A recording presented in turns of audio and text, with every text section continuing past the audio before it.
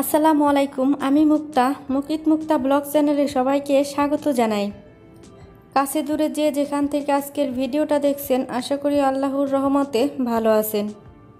আমরাও আলহামদুলিল্লাহ আল্লাহর অশেষ রহমতে ভালো আছি। সবার সুস্বাস্থ্য কামনা করে নতুন একটা ভিডিও নিয়ে হাজির হয়ে গেলাম।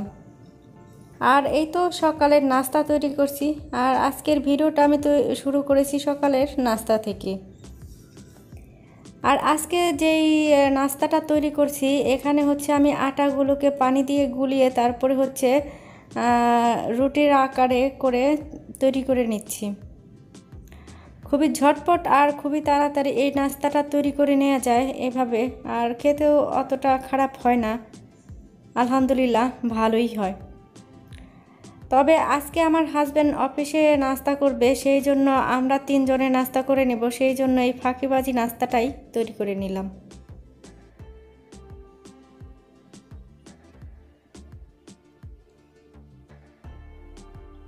আর এই তো এভাবে করে আমি বাকিগুলো তৈরি করে নিয়েছি। আর এই দিক থেকে হচ্ছে আমি মশলা দিয়ে চাটা তৈরি করে নিচ্ছি।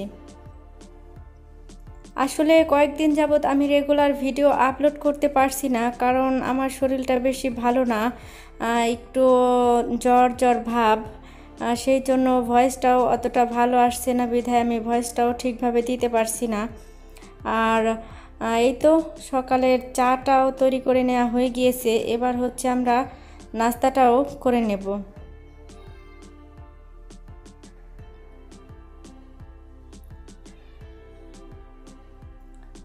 আর এই তো এর মধ্যে কিন্তু আমার সকালের নাস্তাটা করে নেওয়া হয়ে গিয়েছে। আর এখন হচ্ছে চাটা খেয়ে নিচ্ছি।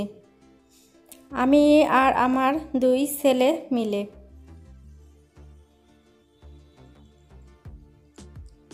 আর নাস্তার পরে হচ্ছে আমি কিছুটা কাজ অলরেডি গুছিয়ে নিয়েছি। তো এখন কিছুটা রান্না করব। আর কিছুটা রান্না অলরেডি আমার করে নেওয়া হয়ে গিয়েছে। জাস্ট একটা ভাজি আছে সেইটাই করে নেব। আর আজকে ভাজিটা করব হচ্ছে ডাটা দিয়ে, কাঁঠালের বিচি দিয়ে ভাজি। তো সেইটাই আপনাদের সাথে শেয়ার করলাম।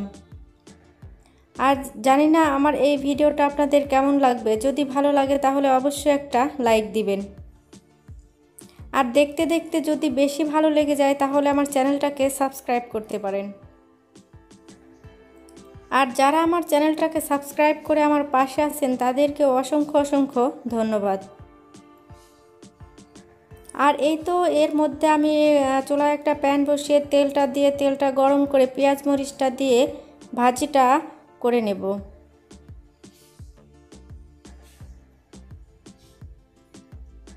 আর এইভাবে ডাটা দিয়ে তারপরে হচ্ছে কাঁঠালের বিচি দিয়ে ভাজিটা করে নিলে কিন্তু খেতে অনেকটাই ভালো লাগে আর খুবই মজাদার হয় এই ভাজি।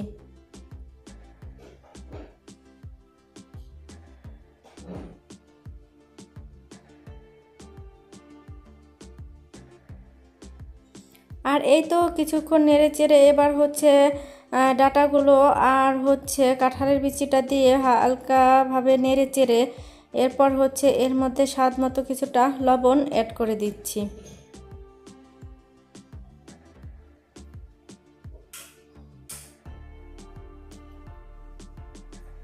আবারও একটু নেড়ে চেড়ে এবার এর মধ্যে কালারের জন্য আমি হালকা সামান্য পরিমাণ একটু হলুদ গুঁড়ো অ্যাড করে দিলাম।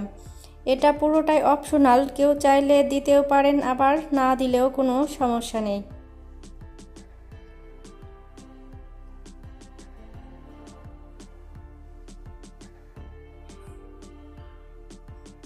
আর এই তো এর মধ্যে প্রায় আমার ভাজিটাও করে নেওয়া হয়ে গিয়েছে। এবার ভাজিটাকেও বেড়ে নিচ্ছি। আর যেহেতু আমার বাকি রান্নাগুলো হয়ে গিয়েছে, আর শুধু এই একটাই রেসিপি বাদ ছিল, সেইটাই করে নিলাম আর আপনাদের সাথে শেয়ার করলাম।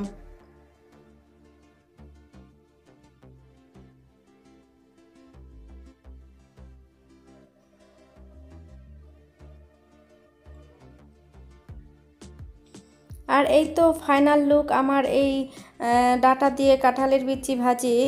তো জানি না কেমন লেগেছে আপনাদের কমেন্ট করে জানাতে পারেন।